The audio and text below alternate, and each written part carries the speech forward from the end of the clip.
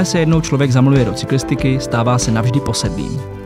Vítejte u povídání pro všechny, kteří si vybrali jízdu na dvou kolech jako svůj životní styl. Já bych u mikrofonu velmi rád přivítal během našeho živého natáčení podcastu ze života v sedle, který se bude věnovat 40 letům historie Tour de Zeleňák, čtyři generace ředitelů závodu.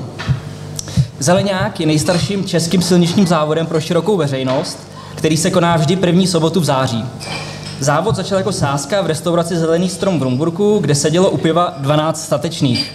Eh, jelikož se pánům povedlo něco velmi mimořádného, dovolte mi přečíst jména všech, kteří tam tenkrát byli. Eh, Zdeněk Kavka, Josef Jánoš, Jiří Drahota, Miloš Havlíček, Jiří Tilner, Ivan Drahota, eh, Jaroslav Šot, Pavel Vincent, Jaroslav Máš Karinec, správně, děkuji. Eh, Zdeněk Moucha, Václav Frank a Pavel Richter. Psal se rok 1984 a sázka zněla Zdeněk versus Vincek, kdo komu ujede na kole. Eh, Dohoda, že objedou výběžek kolem dokola, ostatních deset eh, namotivovala, takže je provázeli na doprovodných kolech, i včetně legendární babety a zastávky v hospodách, prostě pohoda, takhle vypadal nultý ročník. Příští rok už jich prejelo 40, brzy se, brzy se účast přehoupla přes stovku a poslední roky startovní listina začíná atakovat tisíc startujících. Mými hosty dneska jsou v pořadí, eh, tak jak závod vedli, eh, Jirka Drahota, Láďa Nedvěd, Pavel Brabec a Hany Novota. Prosím, přivítejte je vaším potleskem.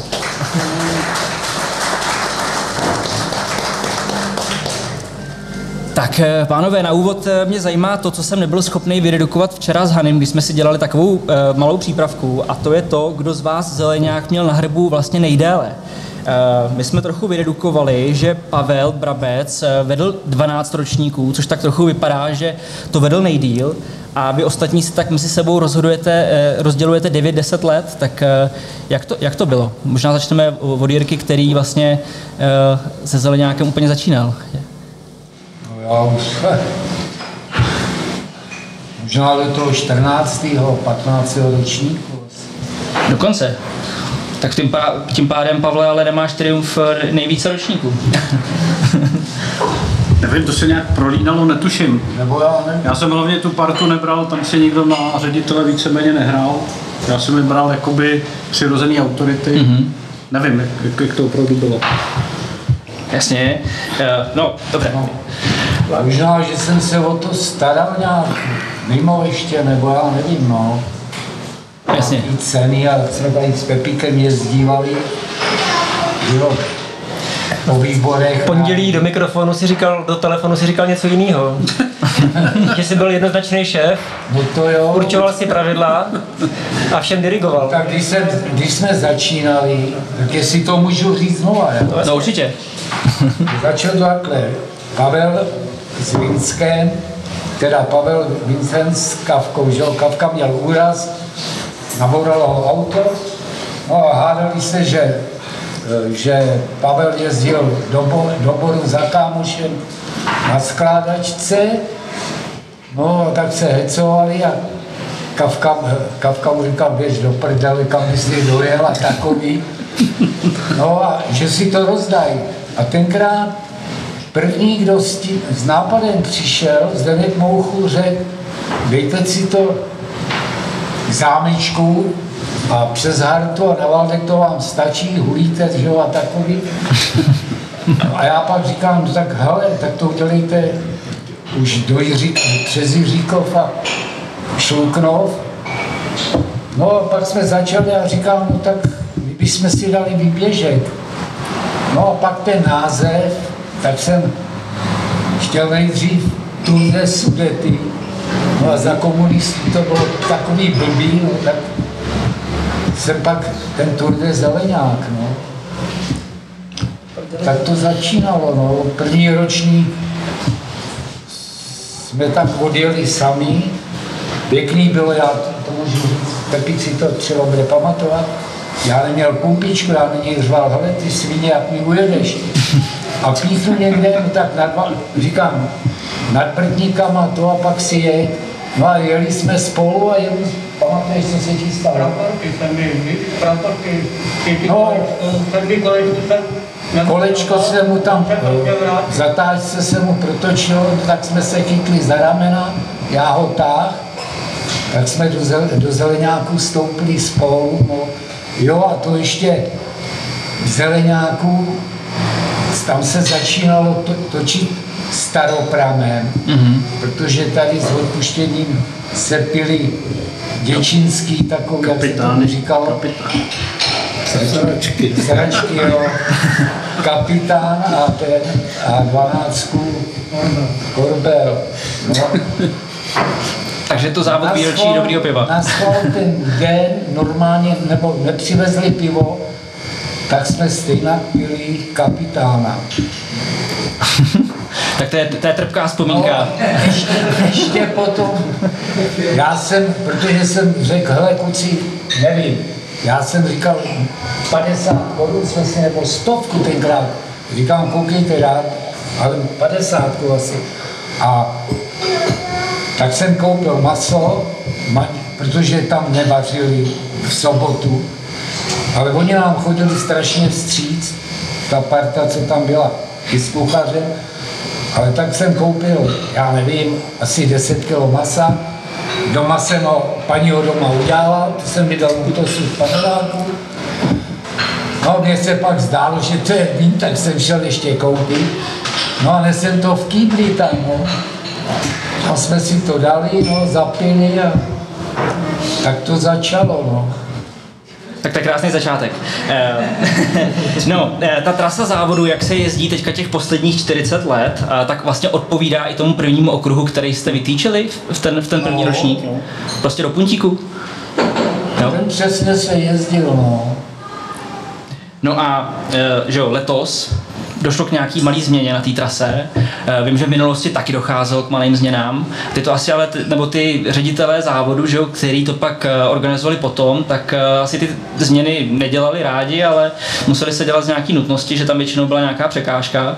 Eh, Dokážete vůbec někde, nebo existuje nějaká kronika, která jakoby datuje to, kolikrát se to jelo jako poprvé a, a kolikrát se to muselo měnit? Nevíte? As, as, asi ne, ale možná s Láďou bychom to vydedukovali. Láďa když si měl firmu uh, meliorační, kde vlastně byl ředitelem trati, takže hledal jakoby kudy, kudy je ty nudy, tak možná, ale asi, asi, asi zbytečný. Jezdilo se přes marketu No, několikrát, No. protože e, poustevna nebo policajti udělali e, z poustevny parkoviště pro nějaký sudecký slavnosti nebo co. Nakonec to dopadlo tak, že e, tam nikdo nebyl, jako z tohohle, z této akce a všichni policajti a uh, teda, eh, ty, co se tomu věnovali, tak se věnovali zeleňáku místo hm, těm a těm. Můžu ještě k tomu něco? No jasně. Já jsem byl ještě tenkrát Tatarapána, tak tady s Pepikem, to už byl druhý ročník, tak jsme trošku to, taký byl s vápnem a jeli jsme, dali jsme šipky vždycky po večerech, ale byl paradox, že prostě policajti v té době, jo, když jsme se scházeli, že po nás nešli ani. A šel jsem taky na výbor, jestli by nám něco nedali, a tam ještě dneska dělal jeden pán, jsme kamarádi, a on říkal, Jirko, kdybyste byli v nějaký frontě, tak by to šlo. Já říkám, ty vole, teď jsou fronty u řezníka. Co bychom tam dělali, ne? No, uh, mě, já bych se ještě vrátil k tomu, jakou formu měla ta tehdejší cyklistická parta, protože přece jenom uh, jako rozhodnout se, že No, ten tak já výběžek. jsem pak ještě dělal, jezdili jsme taky Karlovy Vary, eh. To brácha vždycky zase z, z Vilemova sehnal autobus, no vždycky nafta se nějak sehnala, že jo. Tak jsme tak jezdili. Ještě jednou taky, že odbočím k tomu, v roce 73-4 spadla Sparta do druhé ligy. A to jsem udělal taky, že jsme jeli od nás jako od paneláku nakladnou, oni hráli poslední zápas, nakladně a museli vyhrát. Tak jsme tam tenkrát jeli, jel i Bensa Franku, pak co jel s náma. A ten chudá, oni jeli se švárou na dvou kole a oni už nevolili, Venca řoval, já říkám, Venco, ještě, to je po Robínce, ono to bylo do, kop, do kopce, tam praštil pak kolema, honil mě stadion, no. A bylo to taky, no, takový, že, že jsem vždycky něco vymyslel, no. Mm-hmm. Já jestli k tomu můžu dodat, eh, z té první party, jestli si to dobře pamatuju, tak Zdenek Moucha a Jarda Šotu byli kdysi jako výkonnostní závodníci opravdu. Mm-hmm. Jo, že Jo. jo, zajímavý ten rozhovor v té hospodě, Jo. když bývalí závodníci se tam štengrujou v osázku na skládečce. A... Jasně.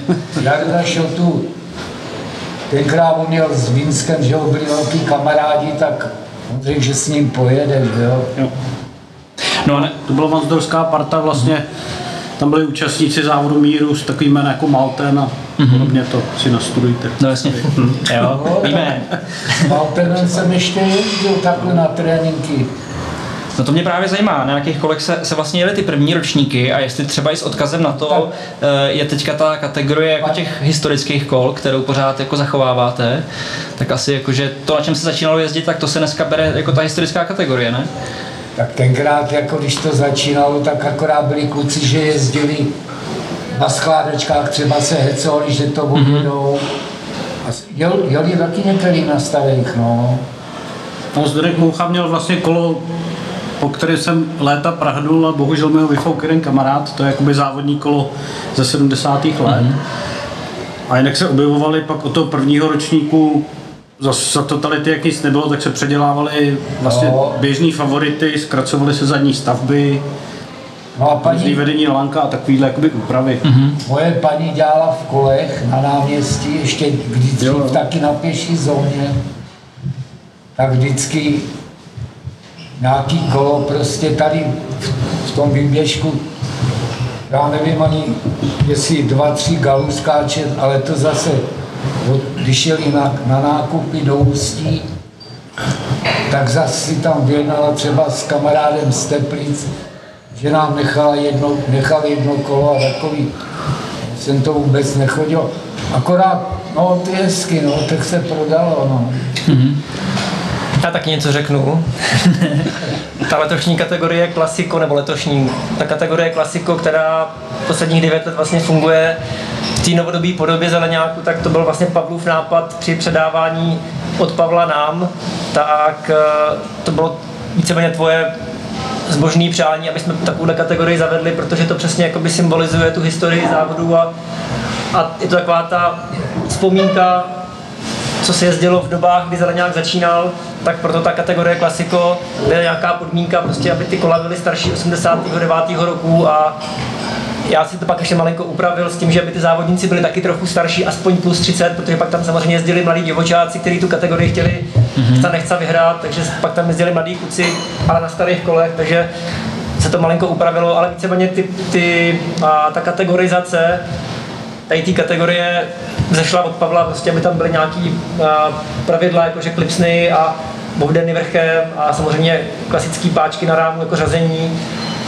A novodobí, nebo novodobí právě, že do- dobový oblečení toho času, tak a, to do, do dneška funguje a to si myslím, že i Pavel často vždycky jezdil, ještě poslední roky si možná vynechával, ale, ale jinak a, jsi správným mentorem tady té kategorie. My jsme nevynechávali, my jsme se zapomínali. Jo. Ale my jsme potom, já nevím, od už, to už čtvrtého, pátého ročníku jsme měli jaký, myslím, do 20, pak do 40 a do 60. No. A pak už, když dělali, tak pak když jezdili ženský, že jo, tak taky. No dobře, eh, já vás teďka trochu vyspovídám postupně, eh, jelikož Láďa, Pavel a Hany nebyli vlastně u závodu od začátku, zajímalo by mě postupně, jak vlastně z toho začali vnímat ten závod, jakože eh, eh, asi možná první dokonce jako účastníci, že jste si to sami zajeli, tu atmosféru jste navnímali a řekli jste si prostě, to je super, nebo jestli můžete postupně říct, jaký byly vaše začátky a, první vzpomínky na Zeleňák? No já jsem neza, nezačal kole, ale já jsem začal jako kameraman. Aha. Jsem si půjčil, tenkrát ještě u nás se neprodávaly kamery, tak jsem si půjčil od jednoho šífáka kameru a s tou jsem jel, bylo to rozhrkaný, protože to za moc to nestálo, ale vždycky druhý den odpoledne na koupališti jsme e, promítali. Mm-hmm. Jo, tak tam bylo vždycky narváno úplně, to bylo hodně lidí tam bylo. No. A ty záběry jsou dochovaný ještě do- dneška? Jde vidět? No, jednu, tu úplně první, kterou jsem natáčel, tak tu, na tu přehráli nějakýho, eh, nějaký večerníček potom, takže ta zmizela, jo. Ale eh, pak jich mám ještě hodně doma taky. Na malých kazetách teda, no. Dneska už to těžko má kdo jak promítnout. Jo. No tak to možná inspirace, zkusit to nějak uh, hodit do nějaký podoby a příští rok třeba si to, si to promítnout. možná pro výzva pro Hanyho. Můžeme se na tom Ještě domluvit. něco? Jasně. Byl paradox, třeba my jsme bez policajtů zastavili dopravu na, tady na křižovatce, že jo, odstartovali všechno. Doktora nám dělal Sváďa. To až pak asi třetí, čtvrtý ročník, no. Ale byla fakt klika, že se nikomu nic nestalo, že člověk, když jsem to tenkrát pak zvažoval, když si to vzal člověk na bedra, že se mohlo něco někomu stát, že jo, tak Mhm. ale víš, jako šlo to, no.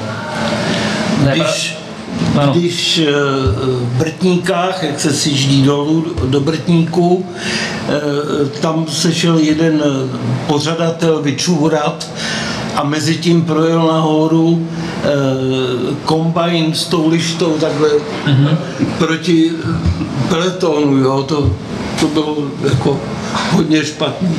Tenkrát jsem dostal strašně vynadáno od nějakého policajta, který taky jel No výborný, já jsem si peprný historky z natáčí nechal do druhé poloviny a je dobrý, že to už uh, sypete na nás teďka. K tomu se určitě dostaneme, protože těch bude úplně nejvíc, že jo? Tady těch jako průserů, uh, o kterých uh, nikdo jen tak neví. Uh, Pavle, uh, pojď ještě ty, jak, Já jak, jsem jak ty se to nějak začal vnímat asi od druhého ročníku. My jsme v té době jakoby začali v uvozovkách závodit na kole, bavilo nás to. A z těchto pánů tehdy ve věku vlastně mým teďka, jsme si dělali, jsme si dělali srandu. Takže jsme různě jezdili, nemohli jsme jako jet závod, pře, to bylo od 18 let, ale jezdili jsme různě před balíkem dopředu, za- dozadu proti ním a to byly jakoby první zážitky. A pak vlastně někdy od těch 18 let jsme se poprvé účastnili, pak trošičku jsem na ně zapomněl, když jsem byl na vojně a pak vlastně jsem se vrátil a uvědomil jsem si, jak tady teďka chlapi říkají, že ten závod, pokud by měl jako pokračovat po revoluci, tak je potřeba trošičku se tomu začít věnovat, co se týče jakoby bezpečnosti mm, a všeho a takhle vznikla nějaká jakoby spolupráce. No ale my jsme taky třeba měli, že jsme udělali si stanovení, že to bylo pro neregistrovaný. Hmm. Ale jezdili sem takový lišáci, který s odpuštěným hovno jezdili, tak se tady vždycky protlačili. No. No, tohle bylo takový složitý, že vlastně jakoby, kdo byl registrovaný, neregistrovaný, pak se to muselo jakoby, že uvolnit. Mm-hmm. Začali jsme jezdit opravdu jako výkonnostní závodníci, kdy třeba ze sedmicu Ingolo, ty si znáte, že pamatujete, když je reprezentant Německa eh, na bajkách, tak, tak vlastně stihnul pomalu obě ten okruh dvakrát, když přijeli ty hobíci jako do cíle. To mě ještě zajímalo, a než, než se dostane Hany k této odpovědi, právě jako nějaká kronika traťových rekordů. Protože že jo, dneska ty nejlepší, to tenkrát ten jednookruh jezdí pod hodinu 20. Hmm. jak se to vyvíjelo, ty časy? Já, já tady k tomu uh, existuje docela dobrá kronika, kdy si dělal časomíru Mára Blažek. Mm-hmm. Uh, pak teda, když jsme si to s Honzou předali, Honza zvolil jinou firmu, Mára se trochu urazil, asi nevím, nevím ty souvislosti, ale jednak eh, dokázal zdigitalizovat většinu láďových kazet, to si nepamatuje, takže to už existuje v digitální podobě. Mm-hmm. Jsou to opravdu rarity, rarity. Mm-hmm. Nevím, jestli to bude veřejně promítat všechno. No. Ale my když jsme A, a jsou ty archivy, jako, jsou jakoby ty archivy, jsme se snažili všechno opravdu i z těch vašich zápisků, kdy se chytalo do cíle vyloženě koridor, že se takhle zúžil peloton na 20 metrech do koridoru, kde projede jeden a tam stály Holky, holky, Holky, manželky a jenom si hlásili čísla. Hezký. Uh, no a teda nějaký čísla konkrétní jsi schopný jako třeba říct jako z hlavy? Já si myslím, že kdysi ráno ty první rekordy padly u toho Ingolota, kde se to posunulo opravdu o čtvrt hodiny. Mm-hmm. Jestli tam byl někde čas hodina 18 nebo 21. Já si do dneška pamatuju, že jsem no. měl hodinu 48. Mhm. To jsem měl zlámanou nohu, tak jsem jezdil a tenkrát nejezdil kila. To bylo dobrý, no. Ale první závod, když jsme jeli, to brácha, všechny už jsme tady byli, brácha nikde, tak kluci na to, někteří jeli na kolách zpátky, pak jsme vzali, a on seděl v křičanech v hospodě. Hezký. Tak se ho tam vyzvedli pak. No, vyzvedli, no a jo, jste, no. Jasně.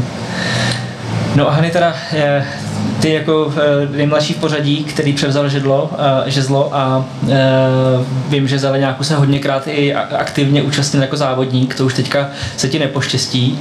Tak jaký jsou tvoje vzpomínky na ty první tvoje Já to mám poměrně jakoby v hlavě dost ještě, protože zeleňák mám prostě v hlavě a v srdci celý život. 2018 jsem měl poprvé na černo, protože tam bylo pravidlo, že od 18 let a mě bylo 16 v podstatě, takže první dva roky jsem měl bez čísla. Netuším, jak jsem se dostal jako k tomu, že zeleňák existuje. Já jsem hrál ještě fotbal tenkrát, ale nějak jsem jako jezdil prostě na kole, tak uh, si pamatuju, že mi někdo asi řekl, hele, přijeď do Rumburka, tam skoč do pelotonu a obejď si s nima zeleňák. A tenkrát byl Brtníkáč strašně rozbitý, ten sjezd přes koleje, prostě pořád tam byly strašně jako díry a všechno. A já si pamatuju, že jsem první tři roky vlastně nedojel, vždycky na Brtníkách jsem skončil, vždycky. V roce 98, 99, 2000. A potom jako už od toho roku 2000 jsem trošku trénoval a tenkrát jsem prohlásil, že až jednou opraví Brtníka, že to možná třeba někdy vyhraju. No a rok 21 strašně pršelo. Poprvé nepřijel Ingolot, o kterém tady byla řeč, ten německý reprezentant. Myslím, že držel čas hodin 22, 23 tak nějak. A na startu bylo strašně málo lidí, fakt přijelo prostě malinko, 301 lidí, já ty čísla jako si pamatuju, tak bylo 301 závodníků a já jsem to vyhrál za mnou jel Martin Kohout v autě a v té do Brtníku jsme přijeli ve třech, v Brtníkáči jsem nahoru odjel a celou dobu ten Martin jel za mnou a furt křičí Neotáčí se ty debile, já to řeknu, pardon. Neotáčí se, už to nikdy nevyhraješ, máš poslední šanci. Takže dopadlo to, povedlo se, tenkrát byl druhý Honza Valeš a třetí byl nějaký Němec, teď si nepamatuju to jméno, vyhlašovalo se na koupališti a ten okamžik toho vyhlášení, když tam fakt jako bylo dost diváků, řekněme pár set, a samozřejmě ta afterparty s tím spojená, tak to byl pro mě tak silný okamžik, že prostě cyklistika najednou vstoupila do mého života a od té doby celým svým já jsem cyklistou. Takže od roku 98, abych to zkrátil, pak se teda povedl tady ten výsledek, no a pak jsme vlastně jezdili a ta konkurence hrozně rostla, zrychlovalo se to. Ještě můj čas z toho roku 20, 2001 byl hodina 29.15 a už příští rok se to jelo o 5 minut rychleji a dneska je rekord, myslím, že 18, hodina 18 a pár vteřin, takže mm-hmm. strašně se to posunulo úplně neuvěřitelným způsobem a to, co se dneska jezdí, to je prostě průměr 1,40 a to se vůbec nedá srovnat. Vůbec, vůbec. No ale a ten, co jel za tebou a řval na tebe, ty debile už to nikdy nevyhraješ, měl pravdu? Měl? Měl pravdu. tak, tak, eh, tak to máš asi radost. Ještě jedna, ještě jedna odpověď. eh, První dva roky, 17, nebo 16 a 17, 2016, 2017, jsem to pokoušel, zkoušel je organizovat a závodit a právě Marek Blažek mi říká, znova to, to slovo, jsi prostě idiot, nedělej to, buď dělej to nebo to. Mm-hmm. Tak eh, od roku vlastně 19, pardon, od roku 18 už to jenom organizujeme, protože to fakt nejde. Jasně. To fakt nejde. Tak zároveň jsi ušetřený trochu toho představitelního stresu, jo? protože mně přijde, že já když se tady pohybuju na... Nejsem. No tak Je to horší. jiným způsobem samozřejmě, ale mně přijde, že já když se tady pohybuju v Rumburku a okolí dva měsíce před závodem, tak se neřeší nic jiného, že jo? Vlastně.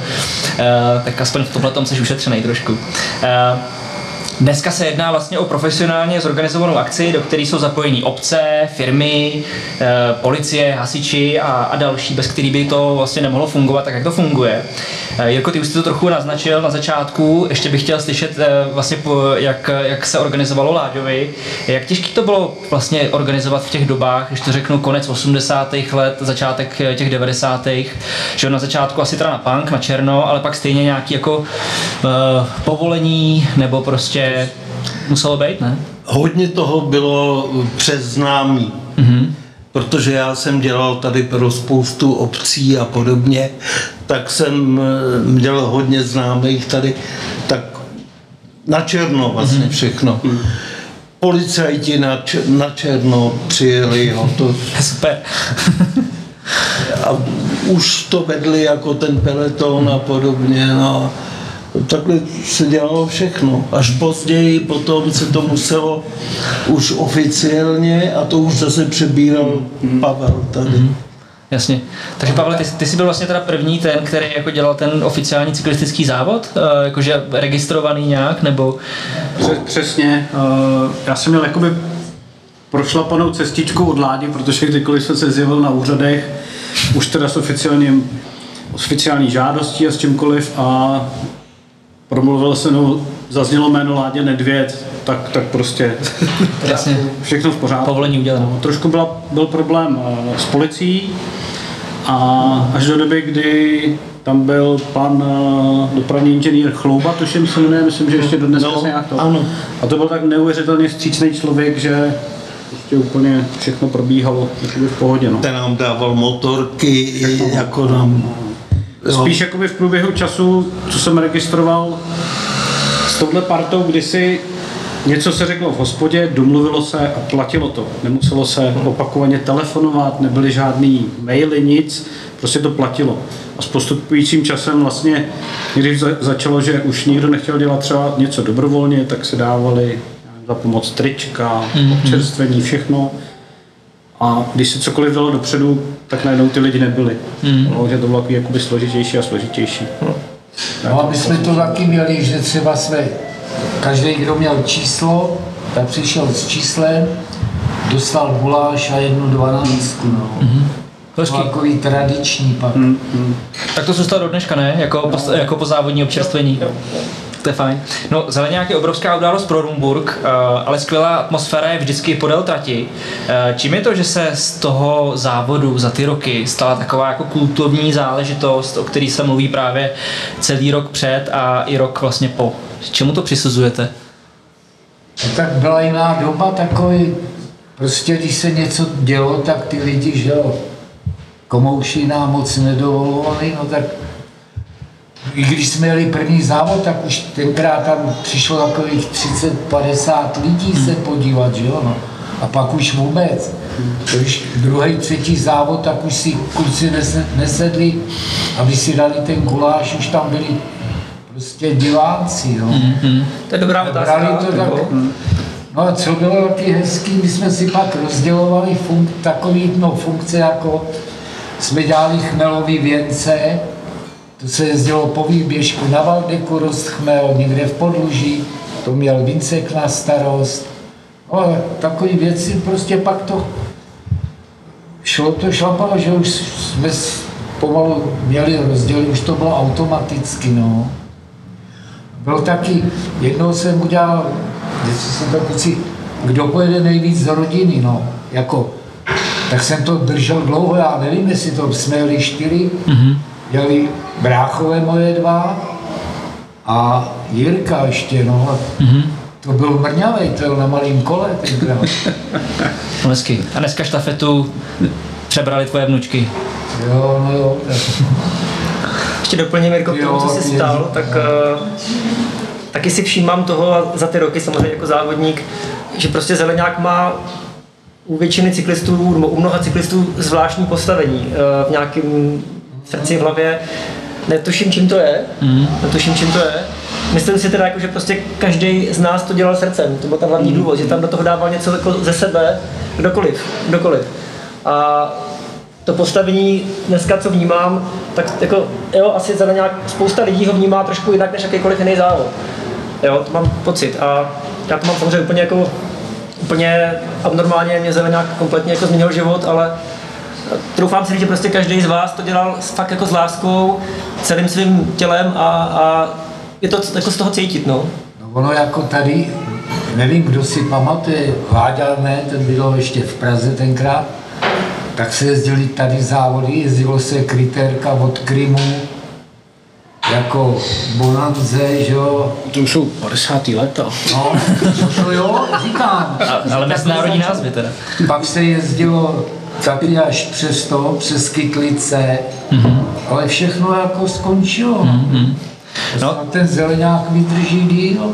No, Já, my tomu věříme všichni, tak samozřejmě, že asi tu kultovnost podtrhuje to, že to je akce prostě budovaná jak říkáš ty, s láskou, ale hlavně jako ze spoda. Prostě závod, který má dlouhodobou tradici, ale e, přesně jako vždycky i ta atmosféra podél toho závodu, že vlastně všichni v těch obcích vědějí, že ten závod se koná, že, že prostě jako projíždějí a sednou si ven na těch židlích, vezmou tři tačky a podporují ty lidi. To je super. A já nevím, jestli vlastně jako dneska člověk musí s těma lidma pracovat, anebo prostě jenom stačí vylepit plakáty a, a ty lidi přijdou sami. Ale lidi nám strašně pomáhali, jsme No, přesně, to, jako každý, kdo to tak říkal, hele, můžu, můžu. Bylo, bylo to pěkný, no. To je to zvláštní postavení zeleňáků, o kterém jsem mluvil, že prostě většina lidí uh, má problém, většina organizátorů, tady jsem viděl kolegu, tak uh, těžko schání dobrovolníky mm. a my na zeleňáku v tuhle chvilku máme kolem 300 do 300 dobrovolníků a většinou máme jako převis, že prostě mm. je tam samozřejmě nějaká žádost, jako vážíme si každýho, ale většinou posledních třeba pět let nemáme prostě problém zaplnit všechny ty pozice mm. a naopak jako zdvojujeme, že prostě Hmm. máme jako nadstandardně hodně dobrovolníků a fakt jako dáváme, to, to je furt stejný, prostě dáváme nějakou stravenku, dáváme tričko, Hmm. nějaký, nějakou svačinu a jako je to pořád dobrovolný, jo. A 300 lidí prostě kolem toho pracuje, tak, tak eh, to je zase ta aura toho zeleňáku, no. Já pak, jestli můžu, v těch 90. letech, když člověk vyjel někam na závody tady po okrese, tak vlastně skončil závod, vyhlásilo se a všechno skončilo, ale Zeleňák vlastně od úplně prvopočátku následuje samozřejmě afterparty a, mm-hmm. a pokračuje to pak až třeba do úterka. No ale to se taky stalo, opravovali zeleňák, tak jsme, já teď nevím, ale já jsem čtyři závody jsem vyjednal, že jsme končili jako v zátiši, ale to se tady dojelo do cíle a tam každý jel po svých. Ale pěkný bylo, když já pak jel domů, ty kuci ze Šulknova, to byly tak, takový dobrý kuci veselý, jak padali do příkopu, jo, jak byli napitý. K tomuhle já se připojím, to je všechno zdokumentovaný. Fakt nic se nestalo. To byl Nic, zázrak. To bylo, Tak asi nějak no. No, to je zvláštní, přitom dneska, eh, že jo, bezpečnost při závodech velký téma, všichni padají a předtím, tyjo, i za, za prvý jako helmy vypadaly úplně jinak, uh, jo, kola brzdily úplně jinak, um, No, tak to jo. Ale co byl paradox, my, my jsme jako pořádali, já nevím, který to byl ročník, a to byl zrovna po převratu 90. nebo? Já prostě to bylo třetího nebo čtvrtého vycházelo v září a Pepík mi říká, ty vole, ty jedeš do Řecka, tak jeden závod se po, za, tak se odložilo, no já tady tenkrát, no tak se jel o týden díl, to bylo jedno. no, si představte, pánové, kdyby se stalo to stejný vám, nebo třeba tebe, Hany, že by si naplánoval dovolenou a zapomněl, že máš zeleňák. Neexistuje. Já tady navážu, když jsem, zase tenhle příběh neznám, ale když jsem zaslechl to Řecko, jak jsme se tady před chvílí bavili s Láďou, Láďa si naplánoval dovolenou v Řecku a nebyl na Zeleňáku. Tak říkám, uděláme srandu, tenkrát moderoval DJ Roura, tak jsme Láďu pustili do eteru před startem, mm-hmm. on to netušil samozřejmě, takže nás tam oslovoval. Tak co vy, co to tam děláte? No, trošku vulgárně jsem mluvil, no. Chápu. Eh, Chlapi, eh, když se vás zeptám zase postupně, možná začneme eh, teďka od těch novějších ročníků, protože to je v nejživější paměti. Stal se vám za dobu vaší organizace nějaký vyloženě šílený pruser, o kterém jste doposud nikomu neřekli. A jelikož uplynulo mnoho let, tak teďka je ta správná platforma podělit se o to veřejně? Já ti právě koukám přes rameno, takže tu otázku tam vidím a nachystám si to. A... Jediná výjimka, já jsem to musel říct, ono to bylo hnedka vidět, to byl rok 17, kdy já byl právě naposledy na trati. Mm-hmm. Poprvé se obr, to teda beru jako za svůj výmysl, aby se to jelo dvakrát.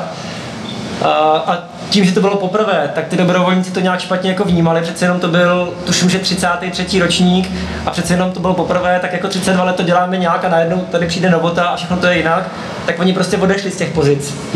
Jo, při druhém kolečku prostě nebyli dobrovolníci na trati. A do toho Vaťan Jo. z nějakého týmu Kola Brabec nebo tak něco. A pršelo samozřejmě jak jinak, tak nedobrzdil v tom našem oblíbeném vrtníkáči uh, blikající vlak, takže spadl na zem, jeho kolo se doklouzalo pod vlak, vykolejilo vlak, vykolejilo, se drážní nehoda, uh, přijeli inspektoři, všechno, prostě obrovský průser. Já přijel do cíle, díky bohu mezi prvníma jsem to hnedka schytal, samozřejmě přišla tenkrát asi nějaká kolegyně a právě Mára Blažek a znovu použiju to slovo, jsi prostě debil, nemáš závodit, podívej, co se tam děje. Protože v cíli ještě proběhlo pod mlíkem nějaký dítě, kterýho cyklista, který špurtoval do cíle, srazil řídítkem, to dítě leželo v bezvědomí a nebejt tam zrovna doktor a mezi divákama, tak jako fakt mohl být nějaký fatální průser. Teď já jsem přijel po tom obru, že jo, po těch 106 kilometrech, prostě hladový, žíznivý a už to do mě šlo prostě. Mm-hmm. Vykolejený vlak, mrtvý dítě prostě a všechno. To je, to je, a... to je do titulku super, no. Ještě- Zeleňák. Ještě doplním, jak to pokračovalo.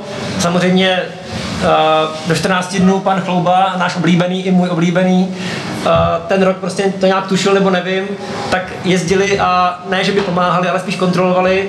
Poslal asi 18 stránkový elaborát s fotkama, co bylo špatně. Tady chybí značka, tady nebyl dobrovolník, tady něco, tady něco. Navrhujeme pokutu půl milionu korun. Wow. tak jsem polkl na sucho, tři týdny jsem nespal a byl jsem fakt rozhodnutý, že to nebudu dělat. Prostě, že to neumím, nezvládáme to, nebudu to dělat. A přišel jsem tady na úřad naproti eh, za paní Turkovou, a tenkrát úřednice, která vlastně měla na starosti celý komunální a správní odbor a tak jsme si samozřejmě pohovořili na koberečku dvě hodiny, jsem se tam uh, pokorně kal a ona sama řekla, že prostě organizuje spoustu dalších akcí, tak nám dala výtku, panu Chloubovi do Děčína poslala na dopravní inspektorát, prostě jako, že teda ty, ty, ty a příští rok to bude lepší. A to, co se vlastně ve mně zlomilo, bylo to, že do toho vstoupila Sinča Davídková s Aničkou Kohoutovou, který prostě si mě tahle vzali do Lužanu a do restaurace. Tam jsem se kal ta červená znova a řekl bych, že teda s tím jako pomůžou, protože to je jako hezký, líbí se jim to a že ale potřebujeme trošku jako pomoct v té bezpečnosti. Tak říkám, ne trošku, hodně potřebujeme pomoct. A tam se vlastně jako zlomila celá ta, asi ta uh, bezpečnostní složka, složka zeleňáků, protože tak jsme se tomu věnovali celý rok, objeli jsme si prostě do puntíku jsme si ukazovali, kde kdo bude. Vymysleli jsme asi 232 pozic dobrovolnických, kdyby měli ty lidi stát, aby to fakt jako bylo perfektní. Začali jsme perfektně komunikovat se všema obcema, že už to nebylo jako zaládě, že to bylo jako na, na kamarádech a na známých. Tady opravdu každý ten katastr si vzala na hrb ta svoje obec, a, nebo ta obec si vzala ten svůj katastr na, na starosti a vlastně to funguje do dneška. Takže ta spolupráce s těma obcema nebo s těma městama je úplně perfektní a díky té Simče, díky té Haničce a samozřejmě ostatním se strašně jako zlepšila tak ta bezpečnost a od té doby to považujeme za Díky tomu průseru. No jasně, díky tomu průseru, díky tomu děcku, který už dneska asi bude taky veliký, přece jen to bylo rok 17, jak jsem říkal, a díky Vaťanovi, který vykolejil svým kolem vlak, tak uh, se to asi jako zvedlo, donutilo nás to prostě zapřemýšlet a nevzdat to, naštěstí jsme to nevzal, nevzdali a, a prostě dneska to funguje výborně, považujeme za nějak za bezpečný závod. Super. Uh, Pavle, nebo Láďo, ano.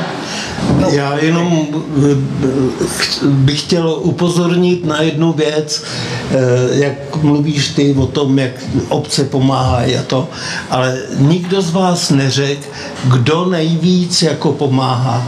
Všude, v každé vesnici jsou to hasiči. Mm-hmm. Všude. A tak to bylo i dřív. Jo. Rovně. Já jsem měl třeba za mě kolem 70 lidí, ale od hasičů mm-hmm. po trati takhle. no. A i tady v Rumburku.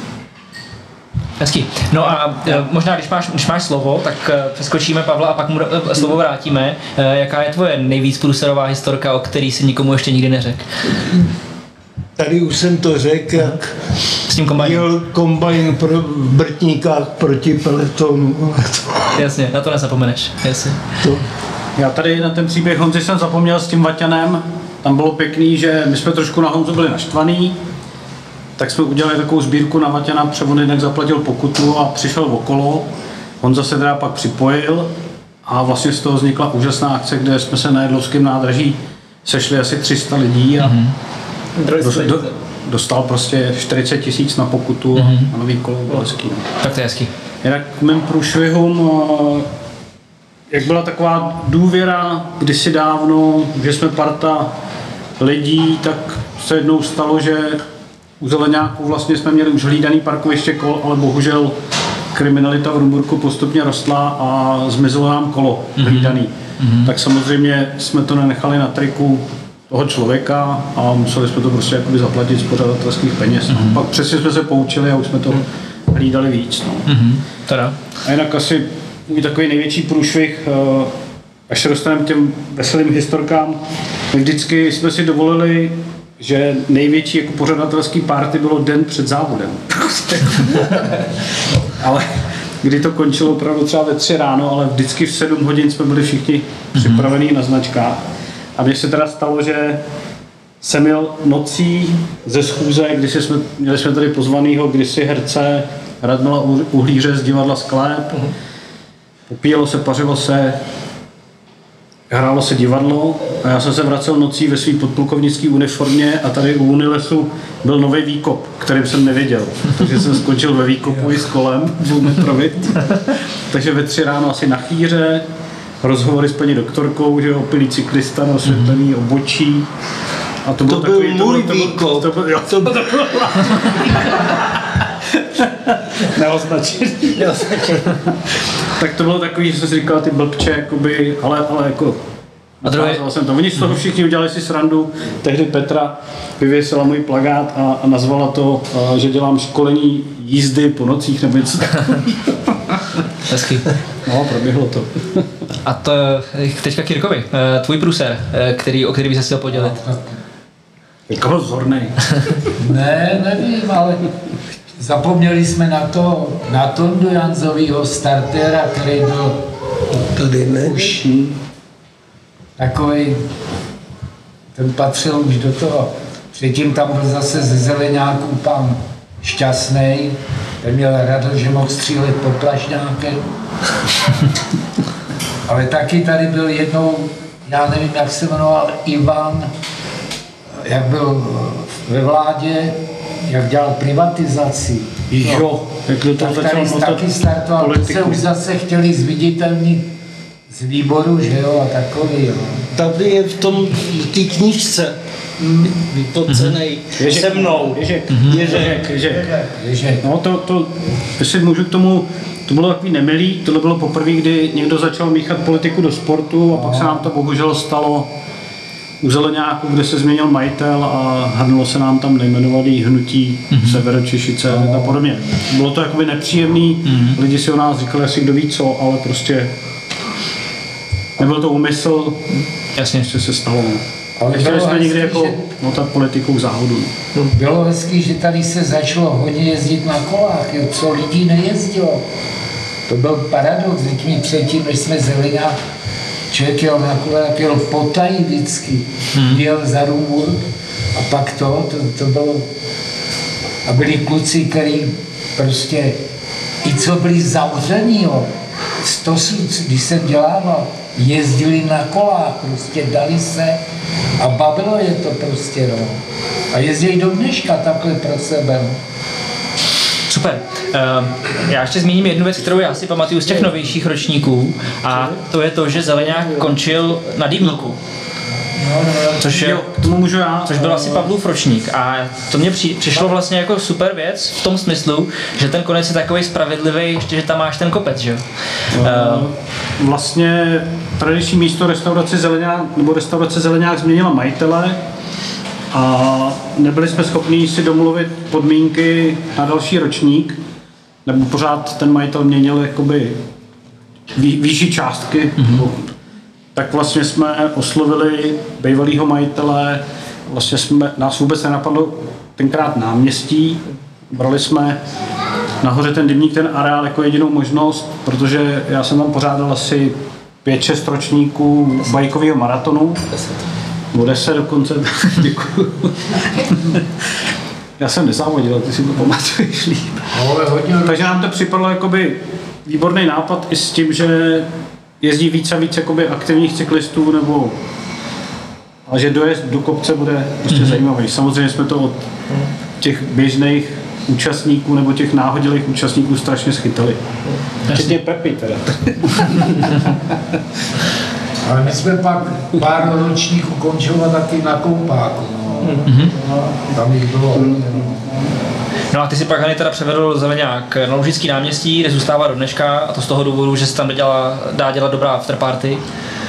No já se přiznám, že jsem to v podstatě okopíroval od Tour de Feminine, který už tam končilo svoji sobotní etapu a vždycky jsem si to jako hrozně užíval ten dojezd na těch, na těch kostkách, to nejde o ty kostky, ale to bezpečné prostředí a řekněme reprezentativní prostředí toho náměstí, protože Rumunsk má krásný náměstí a tak uh, si tenkrát pamatuju, že jsem to jako si to dal do hlavy, že to tak jako udělám. A šel jsem s tím strašně opatrně tady za vedení města, tenkrát tam byl tuším pan Pimpara, tak mu tak jako potichu říkám, já bych to asi chtěl jako trošku změnit někam dát třeba na náměstí. To jsem vám chtěl zrovna říct. Tak úplně nadšený a jako ty to samozřejmě platí, tak uh, věřím, že to byla dobrá volba a je to vyzkoušený od Jirky Vícha mm-hmm. z Feminine, tak proč ne? No ale to bude nějaká mimořádná afterparty k tomu 40. ročníku. E, pro, prozradíš nějaký lákadlo? Uh, lákadla jsou v podstatě dvě, kromě těch tradičních věcí, tak uh, samozřejmě večerní afterparty, kterou se snažíme držet, protože fakt už to dneska nedrží skoro nikdo a to nevím, kolik let to funguje, ale Zeleňák to je zase díky bohu výjimkou, mm. Tak uh, letos vystoupí obrovská kapela se světelnými a ohnivými efekty, bude to obrovská show. Uh, Rammstein RCZ se můžu říct, takže mm. prostě bude to velký. Takže to je jako první velký lákadlo pro, nejen pro závodníky, ale pro veřejnost. A pamatuju si, před pěti lety jsme seděli samozřejmě na afterparty v pevním stanu s klukama a říkal jsem, jako, že bych jednou fakt strašně chtěl, když na té Tour de France lítá ten vrtulník, tak jednou přivíz vrtulník na Zeleňák, což on byl v roce 2013, to je pravda, tenkrát za Jirky Čunáta ještě jste rozhodli ve čtvrtek u dýmky míru, že bude vrtulník. A... Já jenom doplním, to nebylo u dýmky míru. My jsme si kontrolovali poznámky okolo závodu a u jezdírka lítali kolem nás vášky. Jo. A v tu chvíli Jirka říká, Marcel nějak ještě nebyl vrtulník. Ale dvou dnu byl. Ale dvou dnu byl. Dobrý. takže bude i letos, takže bude na ten náš přímý přenos uh, mít záběry z vrtulníků a věřím tomu, že to bude prostě jako epický. Tak to bude možná... 40. Mm-hmm. To je možná jediný amatérský závod v Česku, který bude mít vrtulník. Ne? Po druhý. Po druhý. Po druhý, ještě navíc. No. Můžu ještě něco říct? No určitě. Jsem si vzpomněl, jsem měl sklad zeleniny Dukát, jo. Jo, jo. A když jsme, se mě to napadlo, tak jsem udělal poslední cenu Pytel Brambor. Co by za to dneska lidi dali, že jo? A to byl paradox, že se hlídali některý, aby dojeli poslední, jo. Pak to ještě bouchli tam, vždycky ten pytel někomu, no. To je dobrý. Neuvažuješ eh, zavést cenu pro posledního? Jak to tady Pavel říká, nenapadlo mě to, ale Červená lucerna se dělá taky na Tour de France, tak proč ne? Ale taky jsem hodně kluků mi pomáhalo z Vilémova a udělali nám i nášívky, jak, mám, jak jsem tohle nechal udělat, tak ten samý jsme měli nášívky, možná někdo to má. Mm-hmm. Já jsem doma teď našel asi čtyři. Velký pěktu jsme taky dávali k vítězu na to. No. Mm-hmm. Já jsem ještě slyšel, chlapi, vy jste si tady něco šuškali o nějaký AVI, to, to taky zavání nějakým příběhem. Uh... O AVI z Ducatu. Jo? Aha, Já okay. si jako závodník pamatuju právě tu AVI, kde ten Roura moderoval a to teda byla tvoje AVI no. z potraviny nebo zelenina Ducat, tak to, je, to mám hlavě do dneška. Jasně. No, eh, Zeleňák láká i známý osobnosti. Na těch komentátorských stanovištích se v minulosti vystřídalo mnoho osobností. Možná mi, Hany, ty pomůžeš eh, s vyjmenováním všech z nich. Já vím, že tady byl Franta Raboň, Lubor Tesař, myslím si, že i, i, i, Petr, i Petr Benčík. Petr Benčík. Z těch mladších to byl třeba uh, vlastně Vojta Řepa v těch minulých, minulých ročnících. A uh, letos máme taky uh, zajímavou... Nedvídek asi. Aha. Jo, jo, jo, jo. Adam Nebídek. Adam. Hmm.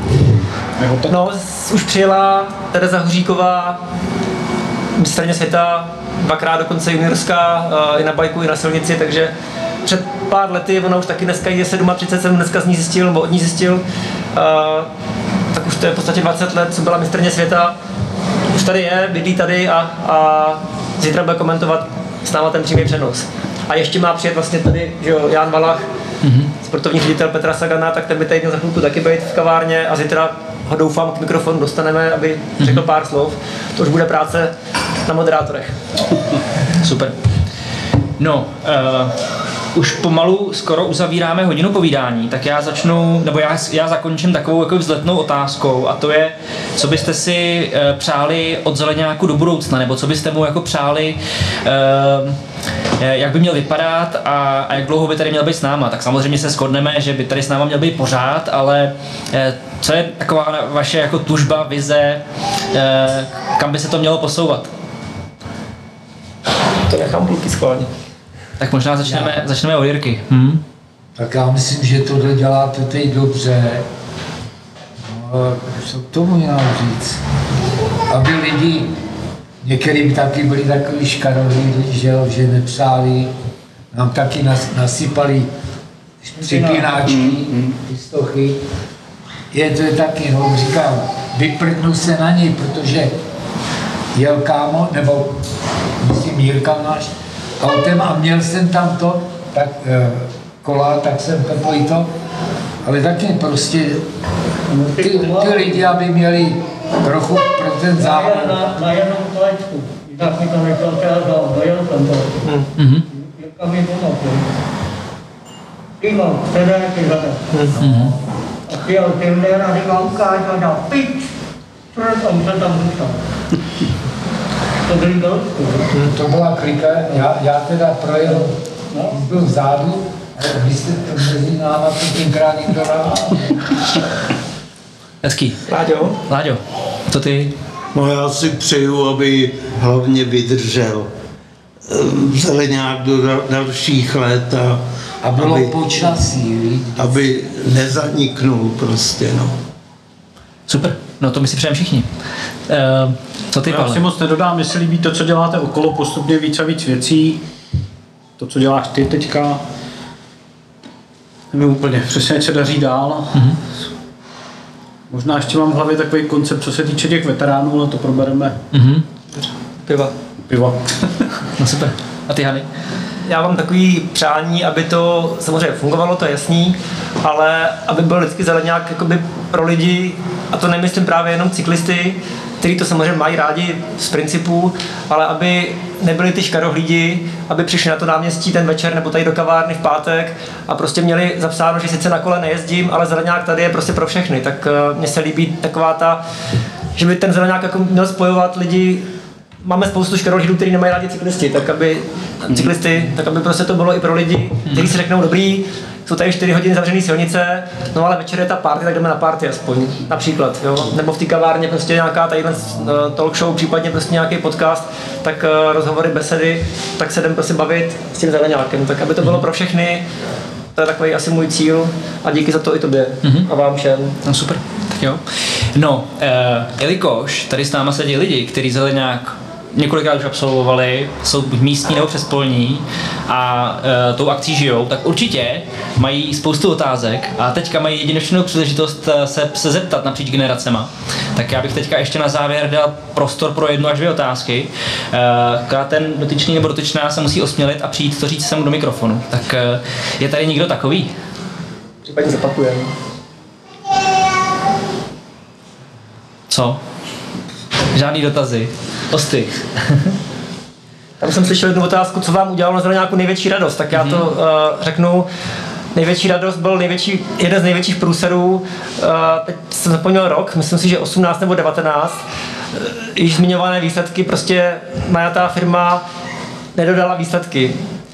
Už tady byl Lubor Tesář, já jsem musel vystoupit na pódium před těch 500 lidí a oznámit, že prostě sorry, nejsou výsledky, nebudem vyhlašovat, čus. tak uh, to byl těžký okamžik. Naštěstí přišel Lubor Tesař, tenkrát prostě se postavil vedle mě a říká, to je úplně v pohodě, nám se to stalo na Karlových Varech, Praha Karlovy Vary, to se může stát, buďte v klidu, výsledky budou. Ale ne dneska. No a to na tomto krásný právě je to, že se stal jako fakt velký průšvih, protože za mě, když někdo zabloudí nebo nejsou výsledky, to jsou dva největší průšvihy při organizování závodů. To všechno ostatní to je prostě navíc tak uh, jsme prostě to jako nevzdali zase díky bohu a svolali jsme to na 1. listopadu do tehdejší cyklistické základny na v restauraci Hvězda tady v Rumburku a normálně úplně všichni vyhlášení, ale úplně všichni vyhlášení přijeli. Mm. A to včetně Vojty Řepy, který že jo, dneska no vlastně už, už není, už je to ex-profesionál, ale pak měl profesionální kariéru a přijel z toho Brna nebo z té velké Bíteše na vyhlášení do Rumburku 1. listopadu a ta akce se strašně povedla, pak tam samozřejmě pokračovala jako vždycky afterparty, ale prostě všichni si toho vážili, že jsme to jako nezabalili, že ty lidi vyhlásíme a všichni přijeli. Tak to byl za mě takový jako strašně důležitý okamžik, že o ten závod je zájem a že, že to vyhlášení, dodatečné vyhlášení v listopadu mělo prostě smysl. Tak mm-hmm. to byl za mě jako hrozně silný okamžik. Super. Děkuji za otázku. Mm-hmm. Ještě, ještě, ještě, ještě jedna otázka, prostor. Co? Klidně můžete vykřiknout, my to zopakujeme. Bude jedna. No nic, tak teda já vám asi budu muset jenom na závěr poděkovat, pánové, protože to, co jste začali před těma 40 lety, je velký, má to velký přesah i mimo náš výběžek, ovlivňuje to lidi minimálně ten jeden krásný zářijový víkend tady u nás na severu a já moc děkuji za to, že jste to začali, že jste si předávali žezla a uh, Hany, že ty teďka držíš tu pomyslnou pochodeň a, a jdeš s ní dál. Takže díky moc a díky, že jste byli hosty podcastu ze života sedle. Už z toho svátek, že? Máme to dvě otázky. Asi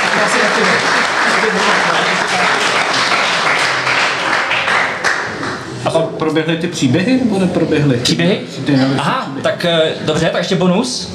Může být? Mě- Dobře, mě tak, napadlo eh, s tím vrtulníkem. Tak eh, klidně, ještě můžeme dát jednu, jednu historku, bizarní příběh. Každý, každý. Každý, ano. Já mám hezký příběh s tím vrtulníkem.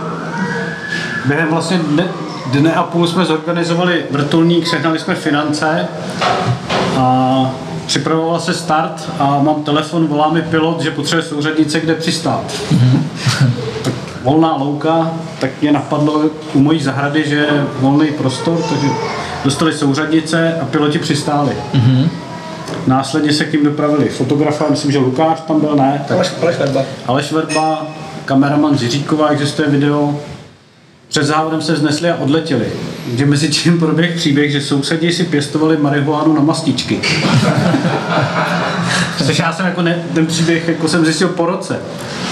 Takže když přistávala helikoptéra vedle jejich zahrady, vys- vyskočili dva čer, černooděnci v kombinézách, tak sousedi se plazili a pilkou poře- pořezali všech šest kytek a odstáhli je do baráků. Krásný. Vlastně posléze zjistili, že to byl vrtulník na zeleňák. No. Ale já tenhle příběh fakt skoro po roce jsem šel na návštěvu Bushovi, aby byl v obraze, kde pořád v garáži pařej, tak se ozvalo, viděli mě, že se vracím domů a ozvalo se, sousedé, pojďte na jedno. Tak já teda jsem šel přes louku, popijeme pivko, a oni si cigárku, to já říkám, no já tohle moc nemám rád, já bych, kdybyste měli něco zajímavějšího, no to my máme tady ty kitky na půdě, možná, že by to šlo, to tady přistál ten vrtulník. Hezky. A jste si nechali takové peprný věci do té relace po, to jste klidně mohli i, i předem. No super. To jsou ty afterparty. Jo, jo. To- to- Tak ještě pojďte další, eh, jestli máte nějakou takovou podobnou. Já můžu říct akorát, jestli je to, to ještě, když jsme jezdili mám tu Karol Rivary Unhož, tak nějaký Luboš Skokan prostě ne, nejezdil nějak moc, no nejezdil na kole. Tenkrát si koupil u, u paní Esku a jeli jsme a tam byly takový serpentíny dolů a byla tam fůra vápna na pole, že jo. On to neodhad a vlít do toho, jo jak byl spocený. On byl normálně bílej. Tam měli asi tři kuci za ním, protože já byl vepředu, tak jsem zastal. Ty se šklebli a vlíkli tam taky. Hezky, hezky. No tak jo, tak, eh, tak ještě jednou díky, jeden potlesk si ještě zasloužíte, díky.